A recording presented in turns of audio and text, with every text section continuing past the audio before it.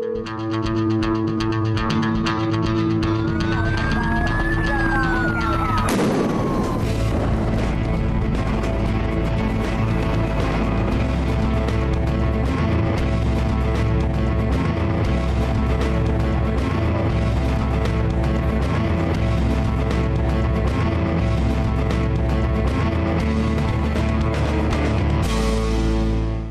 Welcome to Comment with me, George Galloway, here on Press TV, still the voice of the voiceless. I need your telephone calls if this is to be the great debate, the big conversation. And the number to call is 44 208 601 4555. That's 208 601 4555. You call us, we'll call you back. Establish a clear line, and remember, if you get on the television with me, the volume on your television has to be down at zero. Or you can SMS the show on 447800008066, or you can email me at comment at presstv.co.uk. And as always, at this time of the week, we welcome listeners to Colourful Radio, based in London but spreading its colour throughout the land. And those listeners should note that the above details, phone numbers, etc., are for this show only. Tonight we'll be asking what 2014 will bring for the people of Egypt and Syria. Now, I want to make one thing perfectly clear. I'm not a supporter, nor have I ever been, of the Muslim Brotherhood. I don't even like the Muslim Brotherhood. But the decision of the military junta in Cairo to declare the Muslim Brotherhood in Egypt a terrorist organization is a grave mistake. It's a grave mistake which will backfire, which will mutate, metamorphose the Muslim Brotherhood and the broader Islamic movement in Egypt in all kinds of dangerous directions. Some will split off and become the kind of extremist fanatics who set off these bombs that have killed several people in Egypt in recent days. At least we imagine that they were extremist Muslim organizations that set those bombs off. But you can't be sure because the previous dictatorship in Egypt was tried and trusted, practiced in the arts of blowing up Christian churches and blaming it on the Muslim Brotherhood. And no one can be sure who is who and what is what in the Hall of Mirrors that has become Egypt, except this you can be sure that the 5 million people who voted for the ousted President Morsi are not terrorists. At least 99.99999% of them cannot possibly have been terrorists. After all, they endured 33 years of repression under the previous dictator, Hosni Mubarak, whose people seem remarkably to be back in positions of power in the media, in the judiciary, and in the upper reaches of the Egyptian state without ever having recourse to terrorism. I believe the Muslim Brotherhood in Egypt when they say that they use political means, not violence. I believe them. I also believe that the Muslim Brotherhood in Egypt made a series of disastrous mistakes during their very brief period of power in Cairo. I believe that President Morsi was a second rate president. Indeed, he was the second choice of the Muslim Brotherhood, who made a very big mistake in expelling their former leading figure, uh, Dr. Uh, Fotouh, who did stand for the presidency in Egypt and would have been a far better bet. He was a second rate president, but he was not a criminal. He was not a terrorist. And now that he's being put on trial for crime after crime after crime, some of them for assisting the Palestinian resistance movement Hamas, along with many others, by the way, who are not even Islamists, who are now being put on trial in the junta's new Egypt for actions that they took to bring about the downfall of the dictatorship of Hosni Mubarak, who's now out of jail and back in his five star residence and his sons will soon, no doubt, join him. I warned those fools who welcomed the coup in Egypt right from the very beginning. Be careful what you wish for. because this junta that you are now cheering will one day eat you after they have eaten the Islamists. I think that the Muslim Brotherhood has made a series of disastrous mistakes elsewhere in the world. And Prime Minister Erdogan is now harvesting some of the fruits of the dragon's teeth that he has sown over recent years. But that doesn't mean that the Muslim Brotherhood are terrorists, and criminalizing them as such cannot lead to any good.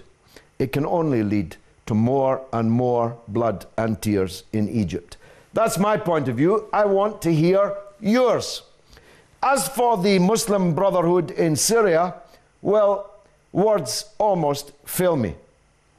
A movement which began its so called armed struggle in Syria has become a movement entirely eclipsed by foreign fanatic extremists who are doing, according to the New York Times, at least 80% of the fighting in the Syrian war.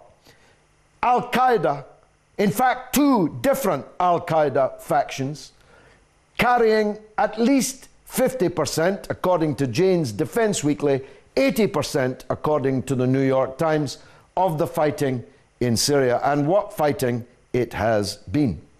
It has been a fighting that has concentrated on the massacre, very public massacre, of religious minorities, the destruction of holy places, and the interpretation of Sharia in the most brutal, medieval form, visited upon people who simply don't want it. The people of Syria are not Saudi Arabians, and they're definitely not Afghans. Syria is not the Tora Bora. And the Syrian people, a highly developed Mediterranean Levantine people, will never accept being ruled by Al Qaeda. Neither the Sunnis in Syria, nor the Shiites, nor the Alawiyin, nor the Christians, nor the Druze, nor the Kurds. And they really are discovering that now because the battle has turned, the tide has turned. The war is lost for these Takfiri fanatics. But that doesn't mean the killing has stopped, and they're still slaughtering people every day. On top of the absolute destruction that they have brought upon the Syrian people as a whole. The majority of people who have been killed in this war are Sunnis. The majority of soldiers fighting the Takfiris are soldiers. The majority of generals leading the Syrian Arab army are Sunnis. The president's wife is a Sunni. This has nothing to do with sectarian difference, except in this regard. Those Sunnis who interpret their own Al Qaeda version of Sunni Islam are losing this war. But that doesn't mean they're finished. They just blew up a pipeline carrying gas into Damascus. They have the backing of foreign countries, principally satrapies in the Persian Gulf. And as long as they have money, they'll have weapons and they'll have bombs. And if the last three years is anything to go by, they'll use them to wreak havoc in Syrian society, make themselves even more hated. They're on a losing war of attrition. And those who stood by Syria this last three years, of whom I'm proud to say I'm one, have been absolutely vindicated by every day of the conduct of this war. Every atrocity videotaped for posterity forever of head chopping, throat cutting, heart eating, fanatic extremism has turned the whole world in revulsion at the conduct of these people. That doesn't mean that everybody opposed to the government in Damascus is a fanatic extremist. They are not. In fact, in Geneva, we need to find an opposition with the courage to go to Geneva and negotiate with the government a political transition to democracy in Syria. But there is no doubt that this war will be remembered for the shocking acts of foul extremism that we have witnessed this last three years. These are just my views. What are yours? Meher has got a view. He's in Buckinghamshire. He wants to talk about Syria. Meher, welcome to the show. Hello, good evening, George. Good evening, madam. And uh, as I, I already said about all these things that's happening in the world, so happy, I don't know, I should say happy Christmas and New Year to you and all. Thank you. Yes, I hope everyone heart- enjoyed uh, Christmas. Yes, and heartfelt condolences to the Christian community, especially in Iraq, that these Takfiri butchers bombard Christian areas in Iraq. They massacred a group of uh, Christian worshippers coming out of uh, Christmas church Yes, service yes, just uh, yes. yesterday. It's so sad today. Yes, it's This so is the kind of people they are. Yes, yes.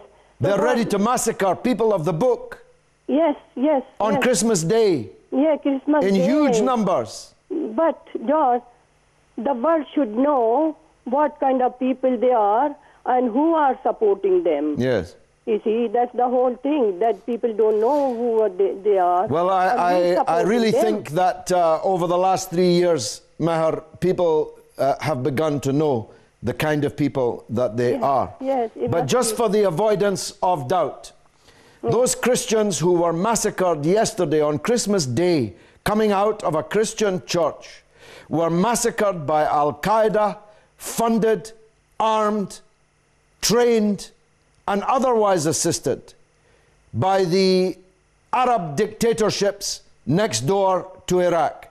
Of that, there is no doubt whatsoever.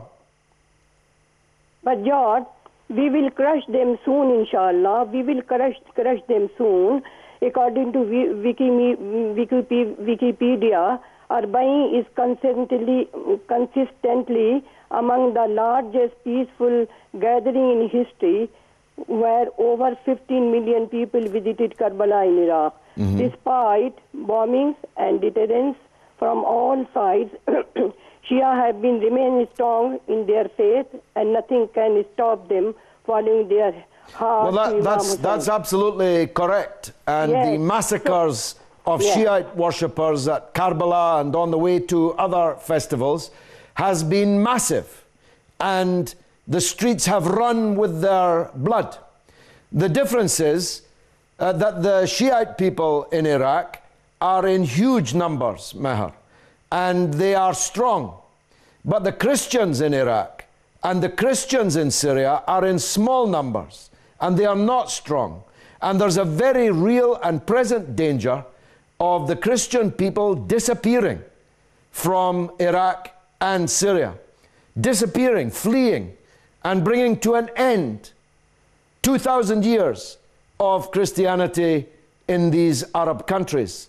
And that would be an atrocity for which no one could ever forgive themselves, especially those so called Christian leaders, Meher, in the West, who not only have not raised a finger in defense of the massacred Christians, but are actually helping to build this monster which is devouring them.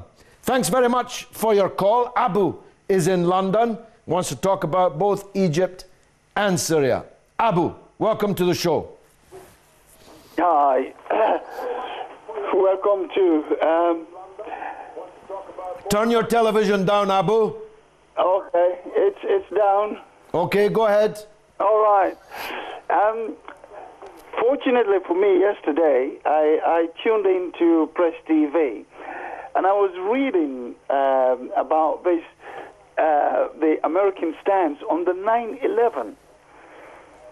911, I mean, you know, about the attacks of Al Qaeda, which they propagated right across the world. That Al Qaeda, Osama bin Laden, and all his cohorts carried out all the activities uh, for 911.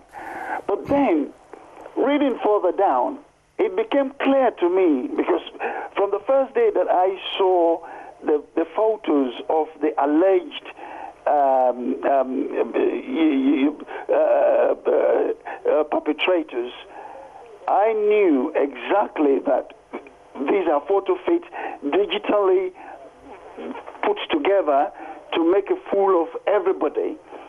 Now, the Americans are in Syria. We know that they are also in Egypt. If it was the Al Qaeda, this is a question I ask myself.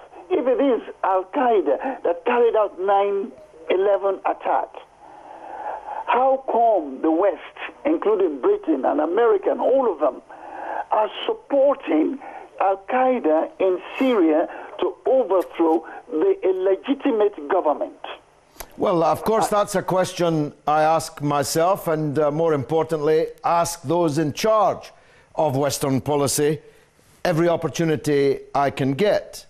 Uh, but let me go back to the beginning of what you had to say. The pictures were not photo fits. 13 of the 19 hijackers on 9 11 were Saudi citizens. They enrolled in flying schools in the United States. Their pictures are there on their application forms. They're there on the CCTV in the flying schools where they learn to fly. Their pictures are there on the CCTV in the hotels in which they stayed the night before 9 11. They're there on the CCTV in the airport. They're at the check in desk. They boarded those planes. Those planes were flown into the Twin Towers. Osama bin Laden hailed his brothers for the great victory that they had, in his words, on 9 11. So I personally have no reason to disbelieve bin Laden. I have no reason to disbelieve the fact that 13 of the 19 hijackers were Saudi citizens. But I do have many, many questions about 9 11. And one of them is the one that you posed last. Given that these people massacred almost 3,000 citizens in New York and in Washington and in other places on board those aircraft, how come we're giving them guns and money just a decade later? Abu, thanks for the call. Let's go to Canada. Gary in Halifax, Nova Scotia. What will 2014 bring for Egypt, Gary? Well, that's a very good question, George. How are you today? By the grace of God, I'm good. Thank you. Um, I think the um, the most interesting feature in all this uh, mess that is now uh, carrying on further in Egypt with uh, with the Sisi uh, military dictatorship actually thinking that they can completely monopolize the political spectrum in that country yeah. uh, by by simply declaring Muslim Brotherhood uh, terrorist, driving it further underground, and all this sort of thing. Uh, people are losing sight of some of the things that underlie the, what has now come about. Um, the the problem for the people who now stand with the Sisi uh, coup the, pro- the problem posed by the Muslim Brotherhood government was that the Muslim Brotherhood government was beginning to open relations with powers other than the United States of America. And I think that was why it was decided that they had to go. Uh, now, this gang uh, that Al Sisi leads, the things they are now doing regarding Egypt's sovereignty are, uh, you know, they really give pause. Like it looks like um, the Camp David Accords, the provisions in the Camp David Accords that basically truncate uh, Egypt's sovereignty. Like it says, for example, that Egyptian troops cannot be in the Sinai without Israeli, i.e., Israeli and American, acceptance and approval. Uh, this is seem, it seems that this is going to be made permanent. This was something that would not have happened if the Muslim Brotherhood had stayed in power, I don't think. Um, the Muslim Brotherhood, uh, the, the Morsi government had lots of contradictions with Syria, with Iran, and so forth. But they wanted to have a link uh, for Egypt within the, the non-aligned movement. And they, and they pursued that link seriously, even though Morsi found himself speaking out against various things at the, at the uh, non-aligned meeting in Tehran. Uh, it was very clear uh, that uh, that the Morsi government was going to go in a direction absolutely unacceptable to the United States in this particular regard. So I think I think this the the what the Sisi government is doing is they they are the front for the U.S. really putting the the boots uh, to Egypt and saying this is the, everything that happens in Egypt is a U.S. Uh, is a U.S. security concern. Well, uh, it won't work, Gary, and I reiterate a point I made in the beginning. There were a considerable number of foolish people who hailed Sisi as the new Nasser. But Nasser's policy had three principal characteristics. First of all, it broke Egypt from the old imperial powers and oriented it towards Moscow. The Egyptian military junta is entirely a product, it's bought and paid for by the United States of America. The second of Nasser's policies was absolute support and solidarity for the Palestinian people and opposition, including war against Israel. Sisi's junta is in open collaboration with the Israeli settler state and is contributing, collaborating in the destruction of Palestinian society over the border in Gaza. And the third characteristic of President Nasser was absolute hostility to the point of war with the medieval dictatorships in the Persian Gulf. Sisi is afloat on a sea of billions of dollars provided to his dictatorship by the medieval dictatorships in the Persian Gulf. Any similarity? I don't think so. Gary, thanks for the call. Let's squeeze in Ramzan in Wales on Egypt. Ramzan, welcome. Hi there. Good evening to you, George. Salam alaikum. Walaikum salam. Go ahead. Okay. Uh, well, basically, what it is, they are, um, the, the government is outlawing the um, uh, brotherhood right? Uh, Yeah. Uh, for simple reason, they just want to go back into the olden days uh, where um, the uh, previous uh, uh, uh, military leader was just one party in the old uh, Egypt uh, government, you know? Yeah. And what it is, they're just turning the clock back. So they don't want any more opposition. So therefore, they're out, outlawing the um, gov- uh, the uh, brotherhood, and uh, so basically they just want to create one state party again. Yeah, and it won't absolute- work. I mean, where are the millions going to go that support the Muslim Brotherhood? Yes, are they going to just change their minds? No, of course they're not going to change their mind. But what it is, they are arresting them, and uh, what it is, most once the, you start arresting people, right, they'll go underground, right, and the bombing that they are alleged to have done, the uh, uh, uh, accuse of the Brotherhood. Uh, it's done by the government. You know, the biggest terrorists in the world are the government. Well, it, it may have been done by the government, or it may have been done by Al Qaeda leaning uh, fanatics, and certainly they have claimed that they did it. But it has nothing to do with the Muslim Brotherhood, who might be second rate, but they're not a terrorist organization. That's not possible to maintain. Uh, George, sorry, uh, I'm interrupting you, but can I finish my sentence, please? Yes, go ahead. Okay, sorry. Uh, what it is basically, whenever the government want to use these puppets, these uh, uh, Al Qaeda terrorists, look at America. One minute they, they they want to kill them all over the world, they want to arrest them, and yet in one hand they are supporting them because whenever it suits government, right, to have these kind of a terrorists to uh, to do their dirty work, right, they will support them. But when it doesn't suit them, right, they will go after them. But they don't go after them exactly because it's part of their own organization. Good point, Ramzan. A good point, excellently made. We're asking tonight what will 2014 bring for Egypt in the wake of the decision of the military junta to criminalize, ban, uh, the Muslim Brotherhood, the putting on trial of the President, Morsi, and other leaders of the Muslim Brotherhood, and to declare 5 million Egyptians supporters of a terrorist organization. And of course, we're looking also at Syria. I'll be back, God willing, in just a few minutes' time. Música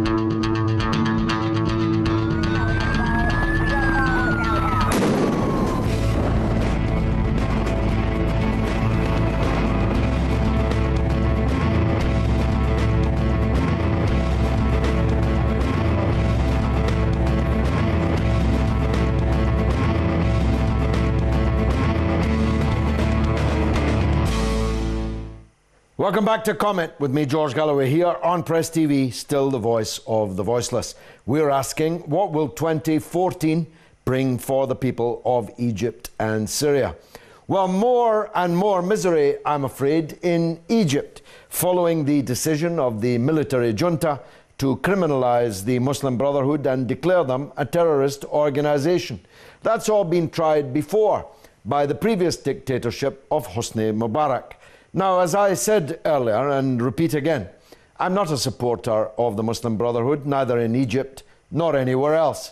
I certainly don't think that President Morsi was a successful president. Indeed, he made very many, very large mistakes, both internally and externally, in his attitude to Iran, to the war in Syria, for example. He made cataclysmic mistakes. And he also multiplied and maximized the opposition to himself inside Egyptian society. He thought that by winning by a whisker the presidency, that meant that he had absolute power to do that which he pleased. Uh, but he didn't. He forgot that in a democracy, what happens after the election is just as important as what happens in the election. But he's not a criminal, he's not a terrorist, in fact, the criminals have all been released. Mubarak and his gang are back in power in Egypt. And those who thought that Sisi was the new Nasser are quickly finding out differently. And in Syria, the fanatic extremists continue to blow up and kill just as many people as they possibly can. But it's more and more pointless. They are not going to win the war in Syria. In fact, they've already lost it. And the revulsion across the world that the tactics and strategy of what became the cutting edge, and I mean cutting edge, of the Syrian militants has grown and grown. People are sick to the back teeth of seeing people's heads being cut off and held aloft by the fanatics that the Western countries paid for, uh, or at least organized the paying for. The actual paying came from the Persian Gulf, from the Arab dictatorships there. And it's all for nothing except for the blood and tears of the people of Syria. Hamid is on the line from Iraq. Always worth arguing with him. Go ahead, Hamid. Merry Christmas to you and Merry Christmas to everybody in Press TV. Thank you, sir. Uh, Go my ahead. comment today, yeah, my president, my comment today that uh, the terrorists in Syria, you cannot call them Muslim Brotherhood because they are terrorists. They are not a Muslim Brotherhood. They I agree. I agree. I've, I've, I've been making that very point, Hamid. Yeah, and they get the, their support from the Zionists of Saudi Arabia and uh, Zionists in Europe, you know. And uh, but unlike the Muslim Brotherhood in Egypt, in Mu- Muslim Brotherhood in Egypt, they are real Muslim because they they try to, they're- they they try to support their brother in Palestine. So you cannot compare the Muslim Brotherhood in Egypt to the terrorists in in in Syria. It's, I agree with uh, that think also. I, I've been make I've been making that very point myself. That's good. Thank you very much. That's what my, my point, what I try to say. Well, Thank that's you. wonderful, Hamid. We've uh, we've managed to get through a call without falling out with each other. First of all, the Muslim Brotherhood in one country is not the same as the Muslim Brotherhood in another country. And even within the Muslim Brotherhood, there are many different trends in all countries. Uh, for example, the Muslim Brotherhood in Egypt under Mubarak contained some good friends of mine and uh, people who have now been expelled from the Muslim Brotherhood, but who are not so foolish as to welcome a military junta uh, capturing the leaders of the Muslim Brotherhood, trying them on trumped up charges, and uh, I don't know where they're destined. I don't know what they plan to do with President Morsi, for example. Do these madmen plan on hanging uh, President Morsi? I wouldn't put it past them, but it would be a very, very grave mistake indeed. Thanks, Hamid. Hussein is on the line, all the way in Australia. Hussein, welcome to the show. Uh, good morning. Good morning to you. You want to talk about Syria? Yes, yes, I do. Go ahead. Okay, good morning, George. Good morning, sir. Uh, is, that, is that George Hussein? How are you? I'm, I'm well by the grace of God, and I'm with you, and the whole world is listening. Go ahead. Okay, great. So first of all, I, uh, I would like to, uh, to uh, thank you for the opportunity because the first time I talk to you now about Syria, well, uh, uh, the purpose uh, for this uh, conspiracy, as we all know, is um, greater than uh, Al Qaeda and uh, which is that uh, the American manufacturing terrorist organizations, Al Qaeda, as we all know. Uh, we have the, the head of the snake is in Riyadh, uh, uh, Bandar and his gang. Uh, we all know that he's been doing this job in Lebanon, in Syria, previously in Afghanistan, in Iran, in Pakistan, all over the world. So we have to all work and, and direct our uh, missiles to Riyadh, to Bandar's uh, headquarters. That's one point. Another point is, George, the refugees, the Palestinians, the, to wrap this crisis and get rid of the Palestinians, send them to Canada, Australia, whatever, and make them forget the main issue, which is the Palestinians' crisis. Uh, this is uh, one of the um, purposes that uh, the colony of Al Saud, uh, that's been established about 100 years ago, as we all know, to get rid of the um, Palestinians so they can have next phase after Sykes-Picot on uh, what is it, 2000, 1914, if you uh, agree with that. Well, uh, none of that will work. You see, quite apart from being uh, stupid in itself, the idea that the Palestinians will forget Palestine uh, cannot possibly happen. The idea that the Palestinians will all go to Canada and Australia, and even if they did, millions and millions of them, that they would forget the country, the land, the property which was taken from them, is utterly fatuous. It will never happen. The Palestinian cause has grown bigger and bigger and has become more and more central to world affairs in the nearly 40 years that I've been involved in it. And that's not going to reverse. Neither is the suppression of the Muslim Brotherhood in Egypt going to work because the previous dictatorship tried all that. And the Muslim Brotherhood became so strong that they won the presidency, albeit by a whisker, in the only democratic election that the country has ever had. So these policies, apart from being wrong morally, they are utterly bereft of any possibility of succeeding. They are worse than a crime. They are a blunder. Thanks for the call in Australia. Let's go to Geneva, Switzerland, and talk to Bani Mustafazi. Bani, welcome to the show. Abi. Go ahead, you're on the air. Okay, Go on, sir. all right. Oh, Fabi. Good evening, George. Uh, good evening, George. Yes, good evening, Mr. Bani Mustafazi. V like Victor, I hope. Okay, go ahead. Uh, uh, I just first, I want to be very brief.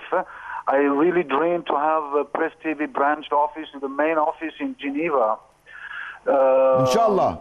Because Everything's changing. Everything's changing, brother.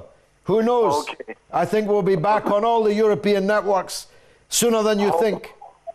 Hopefully, and then the, the the the fact the matter I wanted to come out with is this this royal family of Saudi Arabia that everywhere in the world that we know they finance all these um, unhuman way of relation that they want to express themselves, and somehow we have to uh, make an embargo against them in order to uh, to stop to make these um, devil development that they are doing. As example, in Iraq, last last year only, I believe, according to United Nations, there are eight or nine thousand people that have been killed in the market, mosque, in the school. Anywhere else in the world, if anything similar happened with a smaller case like two or three people, we go and we find the people and we bring them to the justice.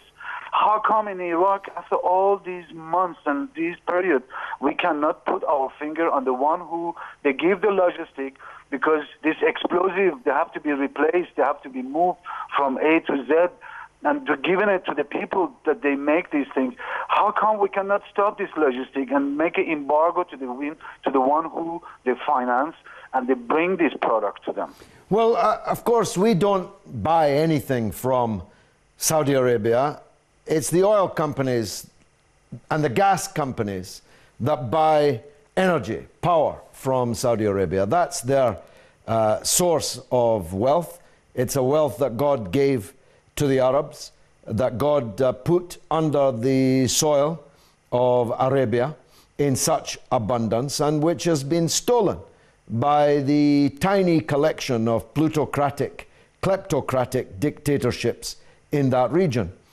The people who live there, the ordinary Muslim people of Arabia, are not to be confused by the dictatorships that rule them.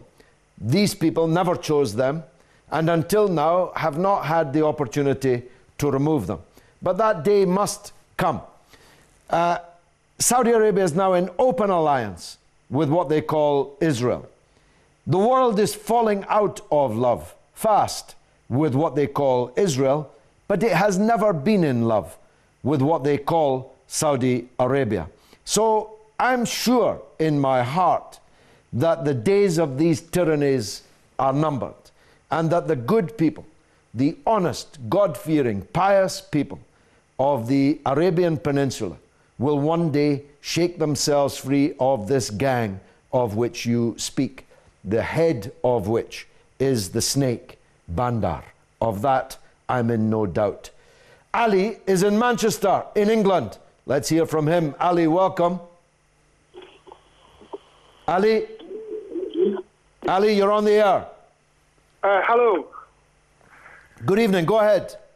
Uh, good evening. Um, uh, well, I was told that the subject is about Syria. Uh, am I right? Yes, you're welcome. Talk about Syria. Yes. Uh, um, well, we just uh, I don't understand why the Arabs don't learn from the past. Um, the conspiracy against Syria is only brought Syria to its knees. They destroyed Syria in the name of freedom and democracy. Mm. However, they tried the same with Iraq and they tried the same with Libya. I'm actually from Libyan origins, and I could see Libya now in turmoil. Every day we have uh, assassinations, we have uh, explosions, we have, uh, we have extremism. Uh, so what, what what's happening now in Syria? And I wish all Syrian uh, um, the best now. Uh, you know, since we are celebrating or the Christians celebrating Christmas, um, um, the extremists or the extremism that was planted in Syria now will only destroy the region and will be a threat to, to, to the whole of the region as far as I am concerned, our Libyan or Arabs are concerned. Uh, Amin. So, Amin Ali, uh, I couldn't agree with you more. Uh, they have uh, successfully transformed Iraq and Libya into the parlous conditions that they are in today. And exactly. in Libya, they have succeeded in replacing one of the worst forms of government with no government at all. In fact, Libya is not a country anymore at all. It is several countries. It may end up dozens of countries. Tiny emirates ruled by warlords and gangs with whom Western countries and companies will try to do the most advantageous business they can. Ali, thanks for the call. Khairullah is in Pakistan. We don't often get calls from Pakistan. Go ahead, Khairullah. Go ahead. Khairullah is in Pakistan. Hello, sir. Yes, hello. Assalamu alaikum. Go ahead. Assalamu alaikum, sir. Hello, Assalamu alaikum, George. Walaikum salam. Go ahead, sir. Hello. How, how are you, sir? I'm calling from Pakistan, sir. I, I hope I'm not the first caller from Pakistan. No, you're not the first, but it's very uh, unusual. I'm very happy to hear from you. Yeah, it's, I'm calling from border to China. It's usually not in uh, central Pakistan. It's border to China. Okay, the even more remarkable. Go ahead. Yeah. Yeah. So I would just uh, uh, want to talk about the situation in Pakistan a bit and in Syria. Yeah. Uh, the Saudi uh, fanatic minded people big here in uh, TTP Pakistan, and they're supporting us to killing innocent people here in Pakistan as well, Yes. slaughtering on the roads, Yes. going to going to yeah, to Iran, and then to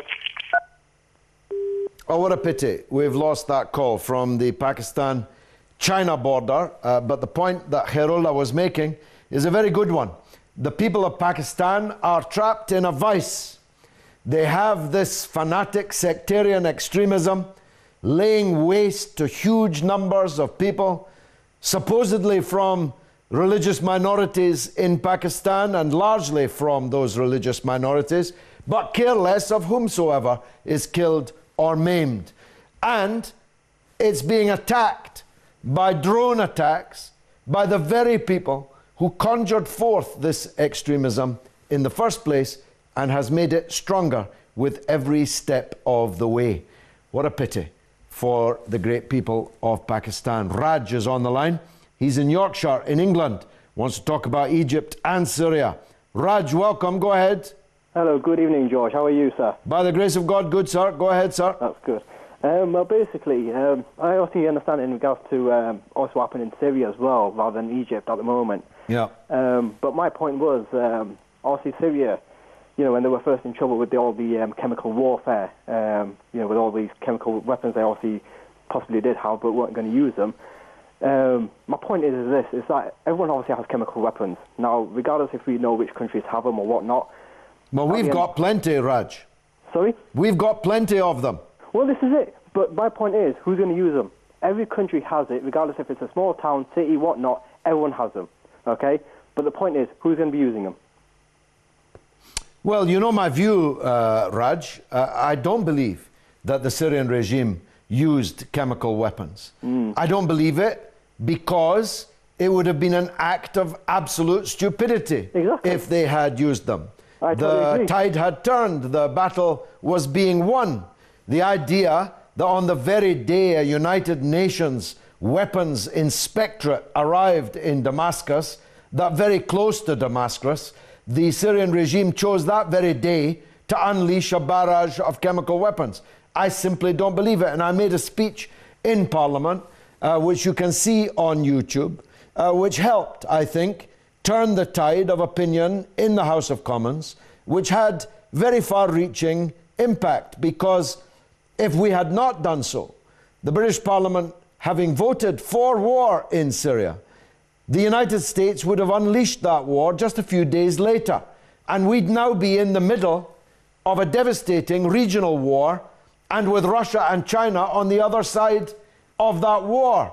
Doesn't get much more serious than that, Raj. I was going to say, you know, I obviously, you know, agree with Russia for obviously stepping in regards to the Syrian regime. You know, taking obviously the chemical weapons. Obviously, no other country should obviously take them because, like I said, no one's going to use them, especially the Syrian regime.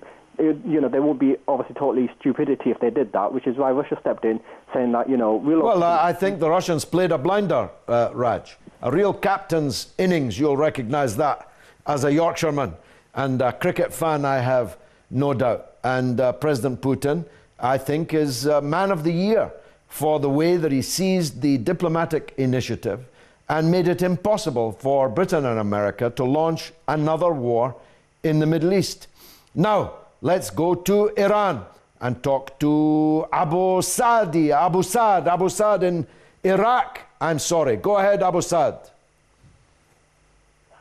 Uh, good evening, Mr. George. Good evening to you, sir. Go ahead. Uh, I want to comment about the uh, terrorists in Syria. Yes. In Syria, Daesh, you know Daesh is Oh, what a pity. Are you there, sir? What a great pity. That's two calls we've uh, dropped tonight uh, from uh, areas that I'm always keen to hear from. He was uh, going to talk about the situation in Syria, and that's one of our big subjects tonight.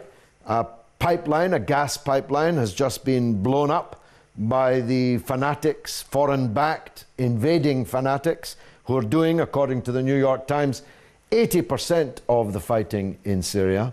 That is to say, that only 20% of the people fighting in Syria, according to the New York Times, are actually Syrians.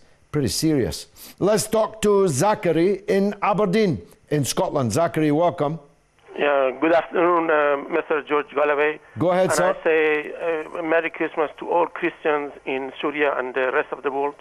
Thank and you. regarding the Christian that been attacked by the Al Qaeda, I uh, put the question to them why they do not join the Shia and establish army of Messiah and army of the Hussein ibn Ali against all the tyrants in the world and change all the Christian governments to the governments that they are against the tyrants, not to support the tyrants. This is one. And the other one I want to say regarding 9/11, and uh, those buildings they were charged for the controlled demolition, and uh, as, as you can see from the some books, on the 28th July 1945, at 8:55 minute, uh, a.m. B-25 bomber hit the Empire building, and that was not demolished like uh, these tw- twin towers. And the third tower, it was without being uh, hit, was controlled demolition was taking place, and that the planes they were con- remote controlled. It was the, the Al Qaeda was set up. This is what is happening in the 9/11s, and I said it when these things happened uh, uh, in the 9/11 uh, in the Voice of America. It is Uh, enough, uh, enough already, uh, Zachary. Uh, I knew it was a mistake to take you. Mustafa in Iran. Welcome, Mustafa. You're the last call. Go ahead quickly. Mustafa? Yes. Uh, Go ahead quickly. Hello? Uh, good uh, evening, uh, George. Uh, Merry Christmas. Thank you, sir. Go ahead, please, quickly. We've only got a minute left.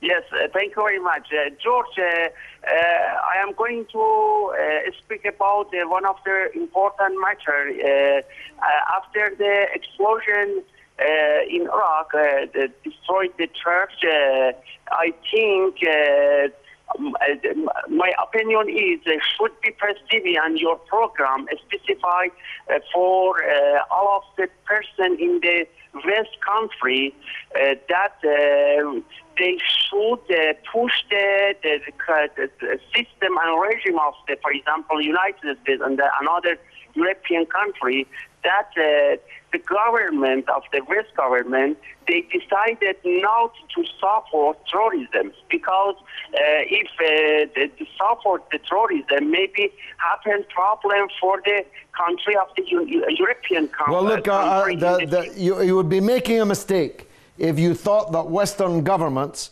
were Christian. Christians believe in the prophets, peace be upon them. Christian governments believe in the prophets and how to get a bigger piece of them.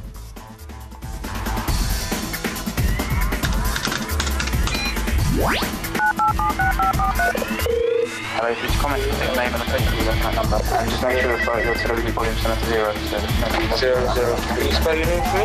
Yeah, I know, I know. You, you redirect me put through